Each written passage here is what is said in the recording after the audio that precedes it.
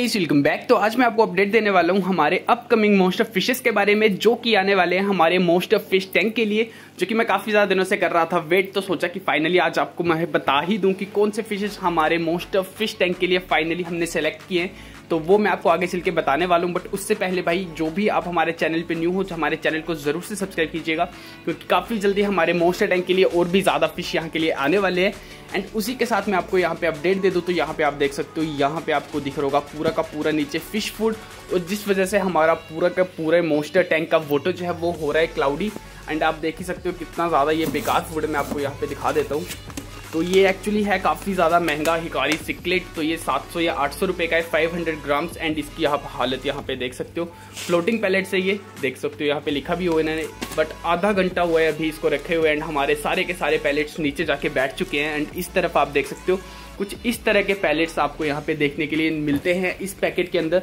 And हमारा कोई भी फ़िश भाई इसे बिल्कुल फ़ीड नहीं कर रहे, क्योंकि इनको मैं अलग फ़ूड खिलाता था। मैंने सोचा बढ़िया फ़ूड इस बार इनको खिला के देखते हैं बट भाई इन्होंने ये बिल्कुल भी नहीं खाया, आप देख सकते हो।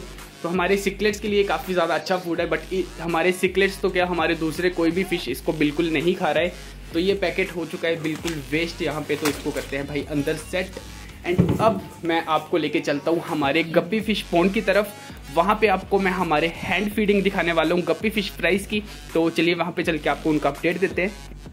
तो इस तरफ़ आ चुका है हमारा D I Y guppy fish pond and यहाँ पे हमारे फ़र्स्ट बैच के गप्पी फ़िश के फ्राइज तो हमारे गोल्ड फ़िश के फ्राइज अभी काफ़ी ज़्यादा छोटे हैं तो उनको मैं हैंड फ़ीड नहीं करवा सकता। बट ये तो काफ़ी ज़्यादा बड़े हो चुके हैं, जिस वजह से मैं इनको हैंड फ़ीड करवा सकता हूँ। एंड ये काफ़ी इजिली हमारे से हैंड फ़ीड कर भी लेते हैं, आप देख पा रहे होंगे यहाँ पे तो। तो ये आ चुके हैं भाई हमारे ड्राइड ब्लड वॉम्स जो कि ड्राइड फॉर्म में आते हैं एंड इनको भिगाने के बाद कुछ इस तरह का ये हो जाता है। तो देख सकते हो, काफ़ी इजिली ये खा लेते हैं, काफ़ी ज़्यादा नरम होते हैं एंड आप अपने किसी भी फ़िश फ्राई को ये काफ़ी इजिली खिला सकते हैं एंड यहाँ पे आप देख सकते हो। इनके पेरेंट्स भी बाहर निकलना शुरू हो चुके हैं और ये है हमारा मेल एंड इसकी जो फीमेल पार्टनर है, इन्हीं के साथ इसकी ब्रीड हुई है एंड इतने ज़्यादा बेबीज इनके आप यहाँ पे देख सकते हो। तो बेबीज़ की इन्होंने मतलब काफ़ी ज़्यादा अच्छी ग्रोथ हुई है बेबीज़ की भी आप देख सकते हो। काफ़ी ज़्यादा दिनों में इतने ज़्यादा ये बड़े हो चुके हैं। तो इनकी डाइट जो है वो काफ़ी ज़्यादा बढ़िया है, सब कुछ खा लेते हैं हमारे फ़िश के फ्राइज एंड इनका आप देख सकते हो भाई ये कितना ज़्यादा बढ़ा चुका है। तो ये भी काफ़ी अच्छे से खा रहे हैं जिनका पेरेंट है, आप देख पा रहे हो यहाँ पे तो। तो फीमेल काफ़ी ज़्यादा डरती है, वो काफ़ी कम बाहर आती है तो छोड़ते हैं इनको यहाँ पे करने देते हैं फ़ीड एंड उसी के साथ हमारा गोल्ड फ़िश टैंक सेटअप भी यहीं पे है। साथ में तो आपको मैं इसका भी अपडेट दे दूँ।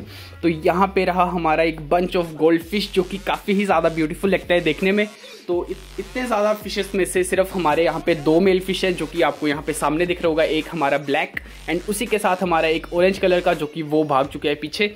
एंड बाकी हमारी सारी की सारी यहाँ पे हैं फीमेल्स जो कि काफ़ी ज़्यादा यहाँ पे करती हैं ब्रीड एंड इनके हमारे पास बेबीज़ भी है तो उनका भी अपडेट मैं आपको नेक्स्ट वीडियो में दे दूँगा।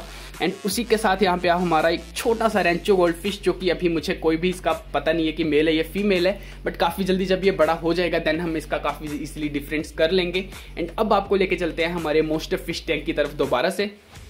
तो इस तरफ़ हम आपको लेके आ चुके हैं हमारे मोस्टर टैंक की तरफ़ दोबारा से। तो यहाँ पे इनका फ़ूड मैंने तो कर दिया है क्लीन बट यार वो काफ़ी ज़्यादा गंद मचा रहा है फ़ूड आप देख सकते हो, पूरा का पूरा वाटर जो है ब्लैकिश कलर का हो चुका है। एंड साथ ही मैं आपको हमारे अपकमिंग फिशेज़ का भी अपडेट दे दूँ। तो यहाँ के लिए जैसे कि आपने थमनेल में भी देखा होगा हमारा एक टाइगर उसका फ़िश आने वाला है एंड उसी के साथ हमारे पैरेट फ़िश का आने वाला है पेयर तो आगे से मैंने भाई को तो वैसे कहा है कि हमें उसका भी जो है टाइगर उसका वो फीमेल में चाहिए, क्योंकि हमारे पास मेल उसका फ़िश है, जैसे कि आपको पता होगा, हमारे पास एक पेयर है उसका फ़िश का.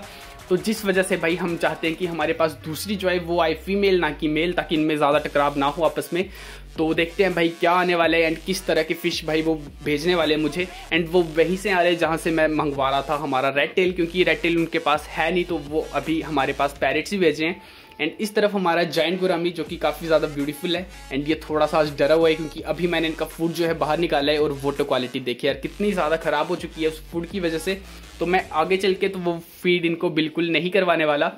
तो चले फिर आज की वीडियो को हम यहीं पे करते हैं। एंड वीडियो कैसी लगी आपने हमें कमेंट करके ज़रूर से बताना है एंड एक दो दिनों के अंदर हमारे फ़िश भी यहाँ पे पहुँचने वाले हैं तो उसका भी अपडेट मैं आपको काफ़ी जल्दी दे दूँगा। तो मिलते हैं फिर आपके साथ नेक्स्ट वीडियो में नेक्स्ट टॉपिक के साथ। Till then bye